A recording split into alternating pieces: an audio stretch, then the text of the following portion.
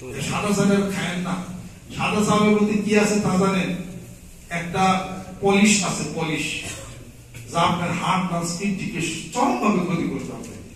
Polish আছে। এই জন্য দোকানের কেনা চাউল খায় তার উপর সাদা। বাজারে খুব ভালো খায় তার পলিশ করা এটা কিন্তু খুব খুব ক্ষতি এটা। দোকান আপনার দাম দিয়ে, ভাঙ্গে নিয়ে নিজে এসে খায়। আলাদা কথা এটা। কিন্তু সেনা কেনা চালে যে প্যাকেটে করা নিয়ে আইতেছে পলিশের চাই এটা পলিশ চাই এই তাড়াতাড়ি মরা ভালো না বেশি দিন বাঁচা ভালো। এই বেশি খাইলে মানুষ মরে তাড়াতাড়ি কম খাইলে কোনো বাঁচে কেন শিখে যে সকালবেলা খাইছেন না বা খাইতেন না আট করে খাইলেন দুপুরে খান নাই খাইতেন আট করে খাইলেন রাত্রে খান নাই মাই করে বাদাম করে খাই হবে দিনে কয়বার খাওয়া লাগে তিনবার আসলে দিনে তিনবার খাওয়ার কোনো নিয়ম নাই, খোদার সাথে হলো খাওয়ার। চারবার খোদা লাগে চারবারই খাবে। তার পেটটাকে রেস্ট দিয়ে খাইতে হবে। এই বত্রিশটা দাঁত আলাদা কেন দিছে দাঁতটা হলো চিবাইতে হবে বেশি করে, এটা হাদিস শিবের মধ্যে আছে। দাঁতটা ভালো করে চিবাইতে মানে হজম করে দিবে খাওয়ার পরে এক ঘণ্টা পর তুমি পানি খাবে, রেস্ট নেবে। খাওয়ার পরে হাঁটা নিষেধ রেস্ট নেওয়া আর হাঁটা নিয়ে হলো খালি মাঠে হাঁটতে হবে। এত ঘুরে হাঁটা নিষেধ। ঘুরে যদি হাঁটো লাঠি হাতে নিয়ে হাঁটো আপনার কাছে ঘুরে আছিস না খেলা করতে থাকা, বলে সত্যি মিত্র থাকতে পারে। এই সকালবেলা ঘুরেই তো শহীদ হয়েছে খুব হিসাব করতে আছে? এক চলাচল করে সকাল ঘুরে একলা হাইটো না? সমস্যা আছে কাজে বড় পেটে হাঁটা নিষেধ, খালি পেটে হাঁটতে হবে, হালকা পানি খাইতে হবে। গরম দিনে খাওয়া নিষেধ, চা খাওয়া নিষেধ। চা খাইলেও লিকার চা খাইতে হবে, দুধ চিনি, এটা ছাড়া খাইতে হবে, হালকা গরম চা খাইতে হবে, তাহলে হাড় তার ভালো থাকবে গলা কণ্ঠ তার ভালো থাকবে। এরকম করে যদি আপনারা যদি চলাচল করি, ইনশাআল্লাহ সুস্থ থাকব, অনেকদিন বাঁচবো প্রতিদিন একটা মানুষের এক করে মধু দিনে দুইবার করে তার খাওয়া দরকার। মধুর মধ্যে আছে অ্যান্টি অক্সিডেন্ট মধুর মধ্যে আছে অ্যামাইন অ্যাসিড মধুর মধ্যে আছে ক্যালসিয়াম এই দুটোই হলো মানুষের চোখের জন্য খুব ভালো এবং তার ডায়াবেটিসের জন্য তার ভালো। মধু খেলে ডায়াবেটিস বাড়ে না কে করছে। সকালে খাওয়া লাগে, খাওয়ার আগে পানি খেয়ে ডায়াবেটিস পানির মধ্যে বিহন শক্তি থাকে তো, এটা ডাইজেশন হয়ে যায়। শুধু খালি মধু খালি মধু খাইলে হলো ডায়াবেটিস বাড়ার সম্ভাবনা। সকালে খাবেন কিছু না, হবে। আমি আপনাদের খেদমত আমার আরও যারা এই যে অস্বস্তি অস্বস্তির মধ্যে যারা, এটা যারা যারা ভুগতেছেন, যেমন তাদের ব্রেন পরে শরীর হয়ে যায়। জীবনও অ্যাবনর্মাল হবে জীবন অ্যাবনর্মাল হবে না। দুধ খাবেন পাত্র দুধ খাবেন, এক কাপ সকালে, এক কাপ বিকেলে। পুরো দুধটাই হলো ক্যালসিয়াম যখনই ঘন দুধ খাবেন, পুরো দুধটা এটা হলো কোলেস্টেরল হয়ে যাবে এটা ক্যালসিয়াম নষ্ট হয়ে যাবে। সারা ওটা বাদ দিয়া শুধু পাত্র দুধ, সকালে এক কাপ দুধ, বিকালে এক কাপ দুধ। তারপরে একটা দুইটা রুটি খাবেন। দুইটা রুটিতে যা প্রোটিন আছে, যে শক্তি যোগাবে, তিন থাল ভাতও সেটা খাওয়া দাওয়ার মেনু পাল্টিয়ে দেন? পানি খান বেশি বেশি। হালকা পাতলা। রাত্রিতে হালকা খাবারই খাইতে হবে এটা তো শরীর পাতলা থাকবে বাঁচবেন বেশি। বেশি খাইলে মানুষ তাড়াতাড়ি করে মরবে কথা কথা খেয়াল করতে পারছেন? আর সাজনা মাথা ঘুরে ঘুরে খাইবেন। এটার মধ্যে প্রচুর অ্যামাইন আছে সাজনা মাথার মধ্যে। কিডনি হার্ট লাংস কিডনি সব ভালো হয়। এটাকে আমরা রেডি করে এখানে দোকানে আপনারা এই জিনিসটা পাবেন। এটার সাথে আরও কয়েকটা জিনিস মিশানো হয়েছে পুরো ফাঁকি ইটা পাবেন রাহাই সেবা পাবেন তারপরে আপনার সামলা পাবেন তারপর রিগেন পাবেন এটার মধ্যে আপনারা পাবেন। আজকেও তো একটা যে রাহাই সেবা কি প্রেসক্রিপশন করেছিল একটা রুগী আসছে তো। দাঁড়ান তো উনি একবারে ওর কথাবার্তা সব বন্ধ ছিল এই যে লোকটা দেখেন। তারা প্রেসক্রিপশন করে এটা নিয়ে এখন আল্লাহ ভালো করছে। আমি প্রেসক্রিপশন করে দিয়েছিলাম। আল্লাহ ভালো করছে নিয়ে আসছে। আল্লাহ পাক যেন কবুল করে না জরাইতে সিস্ট ফ্যাব্রিক্স এবং মেস মেয়েদের যে সমস্যাগুলো হয় এইসব ভাজা খায়। এগুলো খান থেকে সমস্যা খায় না। যে লোক কাঁচা পেঁয়াজ যে লোক পেঁয়াজ খাবেন আমাদের দেশি পেঁয়াজ। পেঁয়াজ খাবেন আপেল একটা বাইরের পদার্থ। আপেল খাবেন টক্সিকা খাবেন। নর্মালি লোক দশ বছর বেশি আপেল এমন একটা বাইরের পদার্থ মানুষের জীবন সত্যিকে দীর্ঘায়িত করে। আর পেঁয়াজের মধ্যে যে গুণ আল্লাহ পাক রাখছে একটা পেঁয়াজ সারাদিনের আপনার সব লেভেলটাকে ঠিক করে কাঁচা পেঁয়াজ খেয়ে কেউ সামনে যায় না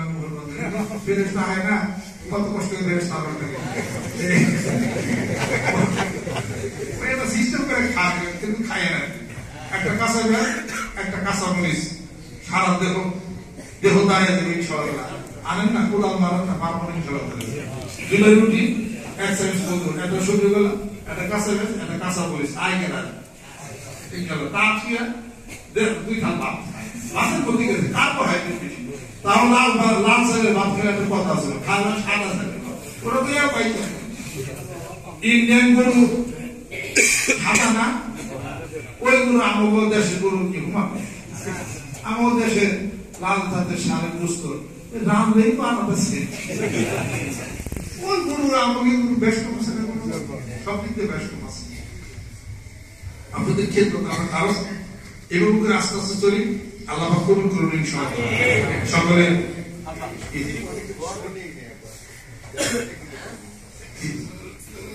বিল পরে আমাদের এখান কারেন্টের বিল হয় পারেন পরে আপনার এখান থেকে পারেন শুক্রবারে কিছু গুরুত্বপূর্ণ সময় থাকে, এত দুনিয়াদের কথাবার্তা বলা যাবে না।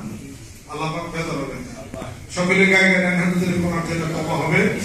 নতুন যারা আসছেন আল্লাহ পাক যেন সকলকে সুন্দর করে ভালো করে অসুখ আল্লাহ পাকের হেফাজত করে, দীর্ঘ আল্লাহ পাক যেন তার সুস্থ এটাই কামনা করি। আলহামদুলিল্লাহ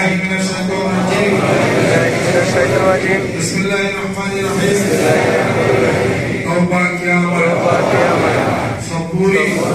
matusa au shabure kamusa au वैक्यम उर्वर हाथ मोहम्मद मोहम्मद सिद्दीकी सिद्दीकी खुलीफा الحرس الزبر مولانا محمد محمد أزهر الإسلام صدق الصالح أيمن المولى استوفى أو اسمع تكون فرما. اللهم آمين. ربنا آتنا في الدنيا حسنة وفي الآخرة حسنة وقنا عذاب النار. الله يجب على المنعم والمقبول ذا করে দাও। আল্লাহ বিদ্যুতের জন্য যারা সহযোগিতার হাতকে বাড়িয়ে তুমি দাও। আমাদের পিতা মাতা আত্মীয় স্বজন তাদের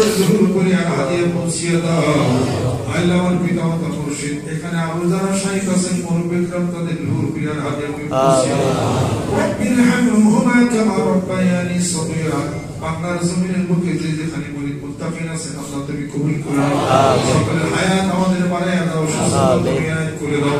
সম্মানজনক রিজিক দাও সম্মানজনক মৃত্যু দাও। সম্মানজনক স্থানে তুমি আমাদের সমাহিত আল্লাহ তুমি মেহেরবানি হয়ে যাও। প্রত্যেকটি সংসারের ছেলে সন্তানদের আছেন আল্লাহ কবুল করে নাও। স্বামী স্ত্রী দাম্পত্য জীবনকে তুমি সুখময় করে দাও নতুন যারা বায়াত গ্রহণ করেছি আমাদের বায়াতকে তুমি কবুল করে দাও কিয়ামতের দিন মুসিবতের সময় দেয় নবীজির সফায়াত তুমি নসিব করে দাও মহব্বত কলম থেকে উঠে নাও তোমার মহব্বতের প্রেমের পাগল তুমি বানিয়ে দাও আমি কলবের মধ্যে তুমি জ্বালায়া দাও আল্লাহ বাংলাদেশকে তুমি কবুল করে নাও কাটাকাটি হানাহানি আল্লাহ তুমি বন্ধ করে দাও কোরআনের কারিমের আলো হাদিস শরীফের আলো ঘরে ঘরে তুমি জ্বালায়া দাও সুবহান ربك رب العزة عما يصفون بحق كلمة لا إله إلا الله محمد رسول উঠে বাক্সটা শুনে উঠে অল্প সময় রাজ দরবারে চলে যায় কথা ঠিক কিনা অনুর ভাবে মানুষ যাই কিছু হোক কোন জিনিস হোক কোন বস্তু হোক ভালো কোন বস্তুর সাথে সংযুক্ত থাকলে ওটার মর্যাদা কেউ পায় সুবহানাল্লাহ। কোরআনুল কারীম কাঠের খন্ড রেহেল বানাইছে। ওই রেহেলের উপরে মানুষ পাও যায়নি ওই কাঠ যখন পড়া ছিল অন্য জায়গায়। ওটার উপরে পাও দিয়ে তক্তা দিয়ে মিস্ত্রি বানাইছে। এই রেহেলে যখন কোরআন শিক্ষকতা তেলাওয়াত করলেন, এই রেহেল উপরে কেউ পাও দেয় কোরআনুল কারীম পবিত্র পবিত্র সাথে ওটা সংযুক্ত হয়েছে। ওটাও ওই মর্যাদায় পেয়েছে, আলহামদুলিল্লাহ। আবু হুরাইরা রাদিয়াল্লাহু তাআলা বিড়াল কাছে কাছে ছিল। আস্তিনের ভিতর জামার মধ্যে দেওয়া বিড়ালের বাচ্চা সৌদিতে তো বিড়ালের খুব কদর আর তাওয়াফি না তাওয়াফা আল্লাহ নবী তো তোমাদের আশপাশ না পাক খায় না এটা পবিত্র কাজে ওই ওই বিড়ালের খুব কদর এখানে বিড়ালের মানে সব জায়গা আছে কিন্তু কুকুর দেখলেই কুকুরকে দূরে সরে দেওয়ার হুকুম আছে পাহাড়ে পাহাড়ে সব জায়গাতে থাকে আবু হরে রাজি আল্লাহ তালান বিড়ালের বাচ্চা একটা সাথে তার আঁকতেনি শস্য ওনার যখন মুসলমান ছিলেন না, তখন নাম ছিল আব্দুল শামস। মুসলমান হওয়ার পরে নাম হবে আব্দুর রহমান। নবী সাল্লাম তাকে একটা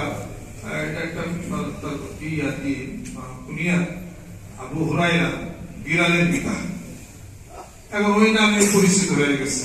আর হুরায়রা থেকে একটা গেছে। তিনি বর্ণনা করছেন, আবু হুরায়রা সবাই আমরা এটা এই বিড়ালের বাদশা আবু সাথে থাকার কারণে জান্নাতে চলে যাবে সব বিড়ালের কথা বলা হয়েছে ওই বিড়ালের কথাই বলা হয়েছে আল্লাহ। তাহলে ওই আসামের কারণের মধ্যে একটা কুকুর ছিল ঠিক বলে না এটাও বেশি যাবে যে খেজুরের যে খেজুরের খন্ডের মধ্যে আল্লাহ নবী সাল্লাল্লাহু মসজিদ নববীতে পিঠ লাগাইয়া খুতবা দিতেন। ওই খেজুর মানে খেজুরের গাছটা কোথাও জানাতে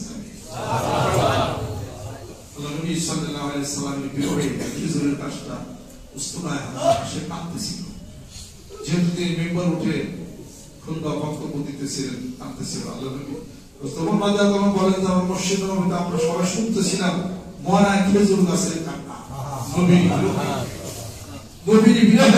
খেজুর গাছের কান্না কাঁদলে। আর তুমি নবীর বুঝতে হবে। আল্লাহ আল্লাহ অনেক কিছুর সমষ্টির নাম হলো সাবেক অনেক গুণের সমষ্টির নাম হলো সাবেক মিথ্যা বলবে না প্রবঞ্চনা দিবে না আর কারিমে ইজা ওয়াদা ওয়াফা কারিম হবে অল্প তুষ্টি হবে হবে আল্লাহকে ভয় করবে রাসুলকে মহব্বত করবে হাত দেওয়া মারবে না কথা দেয় কষ্ট দিবে না উজনে কম দিবে না শিল্পেদার করবে না, সকল কিছু সমষ্টির নাম হলো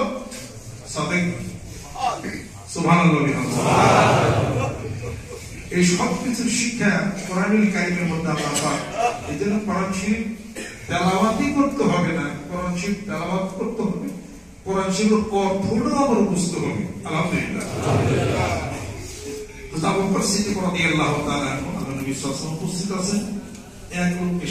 আবু বকর সিদ্দিক রাদিয়াল্লাহু তাআলা আনহুকে গাল বন্ধ করতেছে। সাথে বলতেছে তিনি চুপ করে আছেন। আল্লাহ নবী সাল্লাম ওখানে বসা, আল্লাহ নবী সাল্লাম হাসতেছে। গাল বন্ধ করতেছে কাকে? হযরত আবু বকর সিদ্দিক রাদিয়াল্লাহু তাআলা কে এক লোক এসে খুব কখনো খুব কান্না আল্লাহ নবী আলাইহি উপস্থিত। তিনি হাসতেছে। কতক্ষণ ধৈর্য ধারণ করার পরে ধৈর্যের ধরে ভেঙে গেছে তখন আবু বকর সিদ্দিক রাদিয়াল্লাহু তাআলা আনহু তার এই কথার কয়েকটা উত্তর দিচ্ছে যেই মাত্র উত্তর দিয়েছেন আল্লাহ নবী সাল্লাল্লাহু মুখটা বেজার করে বাড়িতে চলে গেছে বলেন লোকটা এত বকুল এত আমাকে কাম বন্ধ করল আমি কিছু বললাম আপনি হাসলেন আর আমি তো একটা উত্তর দিলাম আপনি বেজার হয়ে চলে দেখো আমি দেখতেছিলাম, লোকটা যখন তোমাকে গালমন্দ করতেছে, তুমি যখন ধৈর্য ধারণ করলা, তখন দেখলাম যে একটা ফেরেশতা তোমার পক্ষ হয়ে তার প্রতিবাদ করতেছে আমার মনে খুব শান্তি লাগতেছিল যে আবু বকরের মর্যাদা আল্লাহ আবে বাবাই দিতেছে তুমি যখন তার প্রতিবাদ উত্তর প্রদান করলা, তখন ফেরিস্তাটা চলে গেল, আমি বেজার হয়ে বাড়িতে চলে হিসাব। এক এক গোলাম সে কৃতদাস পানি দিতে সেখানে আবার পরিস্থিতি রাধে আল্লাহ গোলাম কৃতদাস অমর রাধে আল্লাহ কৃতদাস দুজনই সেখানে ছিল। যাওয়ার পরে বলছে, এই পানি আনতে এত দেরি হলো কেন? পানি আনতে দেরি হবে না। সেখানে কারা ছিল জানেন? কারা ছিল? অমরের গোলাম কৃতদাস ছিল হজরত বকর ছিলেন তারা তাদের দুইজনের পানি না হলে আমি পানি আনি কি করে? তখন লোকটা মুসলমান ছিল না।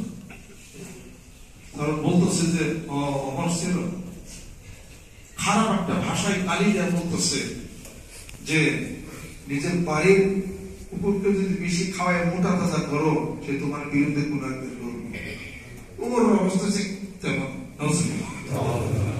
এ কথা শোনার পরে তোমাদের এমন হয়ে গেছে, বাড়িতে তরবারি ভাই লোক কথা না তরবারি ভাই চলে আল্লাহ নবী আলাইহি ওয়াসাল্লাম আমার কই যাও তরবারি না? রাসূলুল্লাহ, দুশমন ইসলামে শেষ গেছে। তরবারি ভাই গেছেন আল্লাহ নবী ওয়াসাল্লাম বললেন, খামোশ চুপ হয়ে যাও ধৈর্য ধারণ করো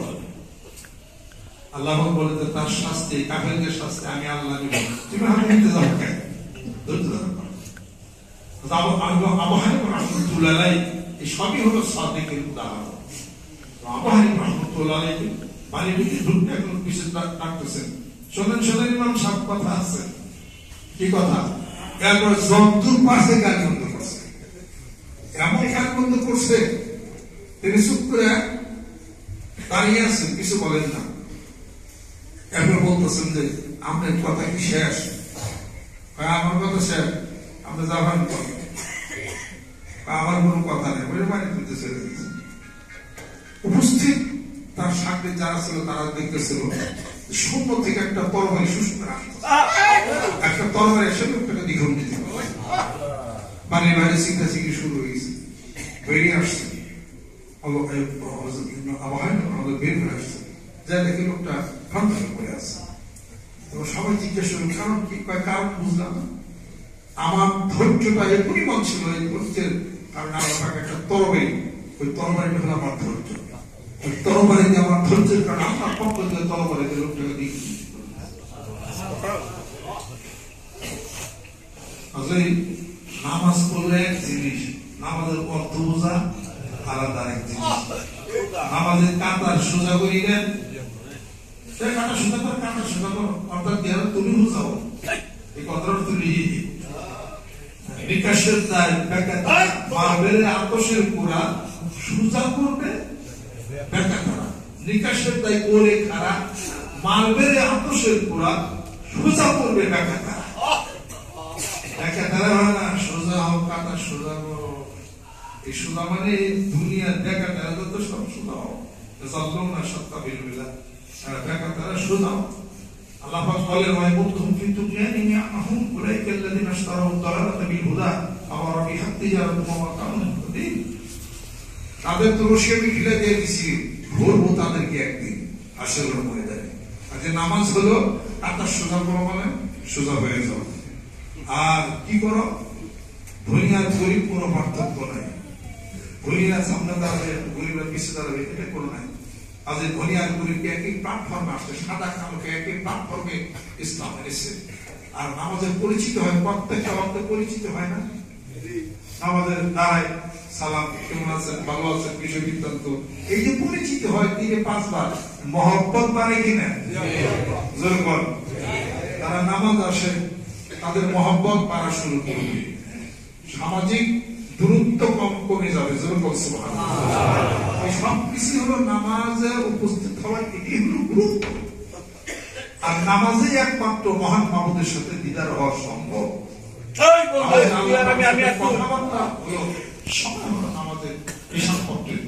যে নামাজ আল্লাহ পাক কবুল করেন। বলতেছেন আমি ওমর যদি আমার জীবনে সমস্ত আমলগুলি যদি বরবাদ হয়ে যায় আর দুরাকাত নামাজ যদি মহান মাবুদের দরবারে কবুল হয়ে যায় আমি ওমর হাসরের ময়দানে আমার মাফের জন্য কাফি হইয়া যাবে। যদি আল্লাহ পাক কবুল করেন, আমি ওমর মাফের জন্য কাফি হই জোর পান সুবহানাল্লাহ। নামাজ মিটার নাই। কবুল হলো কি? না হলো মিটার।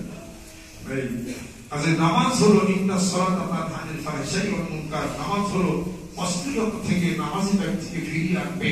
নামাজের মতো নামাজ যদি হয় যাই নামাজে হইলি খারাপ কেউ দিনতের ঘোড়া আজাদিন হইল সোয়াদ নামাজের পরে মনটা যদি দৌড়ায় তাহলে এই নামাজ হলো না। খুশি খুশির সাথে এই নামাজ হলো না। এই প্রাণিকাল খুশি খুশির সাথে নামাজ হওয়ার জন্য পূর্ব শর্ত হলো তার অন্তর তার দিল তার সাবেত হইতে হবে খুশির কল হইতে হবে স্থায়ী হইতে হবে। যে দেহের হৃদয় দিয়ে একমাত্র আল্লাহকে হাজির নাজির বলি সে বলবে মনে করে দাঁড়াবে যে আমি যেন দেখে আল্লাহ আমি যেন দেখে পরম পরবর থেকে আপনার ফুটতে পারে দিতেছে আমি দেখেই তো এই নামাজ পড়ি নামাজ আদায় করি। সারা জীবনে একবার হজ বছরে একবার রোজা রোজা আর জাকাত একবার আর নামাজ হলো দিনে হাজিরা দাও কার কাছে?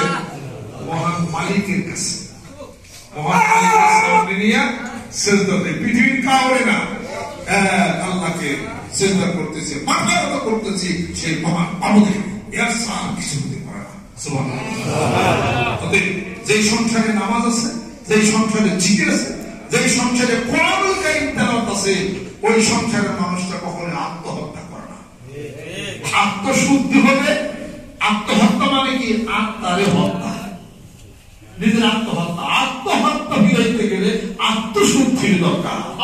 আত্মশুদ্ধি হলে আত্মহত্যা ফিরে যাবে। যত আইন চলন যাই কিছু বাংলাদেশে করুক কোনোদিন আত্মহত্যা ফিরবে না। ওর আত্মারই খবর নাই ওর হত্যা বুঝি কি? জোর করতেছে তো নিজেরই খবর নাই? কি নষ্ট? এরপর আত্মা কি রুহ কি কব কি এগুলো তো বুঝে না। সেটা এগুলো পরিশুদ্ধ করে না করা পর্যন্ত এদেশে আত্মহত্যার প্রবণতা মেন্টাল মানসিক ফ্রাস্ট্রেশন ডিপ্রেশন এগুলা কখনোই সমাজ থেকে যেতে পারে না। আর একমাত্র কাজ মাঠে ময়দানে। তিন মাসের পণ্ডিতের তাদের দরবার, তাদের তাদের মাধ্যমে মাধ্যমে, চক্ষু মাধ্যমে মাধ্যমে জিকিরের মাধ্যমে আত্মশুদ্ধি করে, আত্মশুদ্ধি হলে পরে এই ছেলে খুন করবে না, আর এই মেয়ে আত্মহত্যা করবে না। পঁচাশি তখন আমাদের কলমবল থেকে ঢাকা বিশ্ববিদ্যালয়ের এক ছেলে বইরা বলে গেল আত্মহত্যা করবে আমরা তো জানি, আমরা তো উপস্থিতি কারোর কি ঘটনা দেখি? কি এত বিদ্যা, জ্ঞান, বুদ্ধি তার ছিল? ঢাকা ইউনিভার্সিটির মতো একটা জায়গার মধ্যে পড়ার পর নিজের জীবন থেকে দিল ব্যাপারটা ঘটনা দেখি না। তার মানে তার ভিতরে কোরআনের আলো না থাকলে, নামাজের আলো না থাকলে ঝিকির আলো না থাকার কারণে সেটার আলোটা নাই, আছে হলো অন্ধকার। যেখানে আলো নাই, সেখানে আছে অন্ধকার। আলো যেখানে আছে, অন্ধকার সেখান থেকে দূরীভূত হয়ে গেছে। যে কোরআনের মধ্যে আল্লাহ করেন, আলিফ লাম র নাসা মিনাস নাযিল করেছি। অন্ধকার থেকে মানুষকে আলোর দিকে জোরে সুবহানাল্লাহ। অতএব তেলাওয়াত করে, অন্ধকার আলোকিত হয়ে যাবে। কোরআনুল কারীম তেলাওয়াত করেন, খোদা নিবারণ হয়ে যাবে। কোরআনুল কারীমের সূরা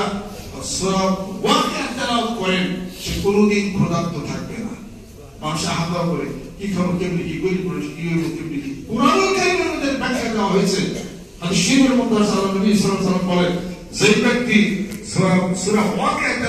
প্রতিদিন তার ক্ষুধার নিবারণের দায়ী দায়িত্ব মহান পুত্র আল্লাহ পাক আব্দুল্লাহ মাসউদ রাদিয়াল্লাহু তাআলা অসুস্থ হয়ে গেলেন ওসমান গনি রাদিয়াল্লাহু তাকে দেখতে গেলেন দেখতে যা বলতেছেন আপনার অসুখ শুনছি অসুস্থ হয়ে গেছি। কি রোগ? আমার কোনো রোগ না আমার রোগ হলো গুণা আমার রোগ হলো গুণা উত্তর করতেছেন। ওসমান রাদিয়াল্লাহু তাআলা প্রশ্ন করতেছেন আব্দুল মাসউদ রাদিয়াল্লাহু তাআলা উত্তর করতেছেন। তাহলে পরে ডাক্তার নিয়ে আসি। ডাক্তার চিকিৎসা করবে।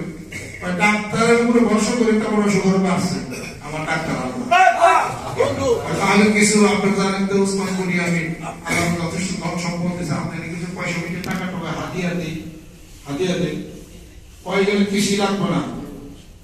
আমার দরকার নাই, প্রয়োজন নাই। আল্লাহ আমাকে দিবে। তার বলে, তাহলে আপনার ছেলে সন্তানের কিছু টাকা পয়সা কিছু তারপর তারা খাইতে পারব, নিতে পারব। দরকার নাই। কারণ আমি হাদিস শিরুন আল্লাহ নবী সাল্লাল্লাহু বলেছেন। আপনি কি জানেন না? যেই ব্যক্তি সূরা তেলাওয়াত করবে, তার খোদা নিবারণের দায়িত্ব মহান মাবুদ দিছে। আমি আমার সন্তানকে বলছি, তারা সূরা ওয়াকিয়া তেলাওয়াত করবে। এদের খোদা নিবারণের দায়িত্ব আপনার না মহান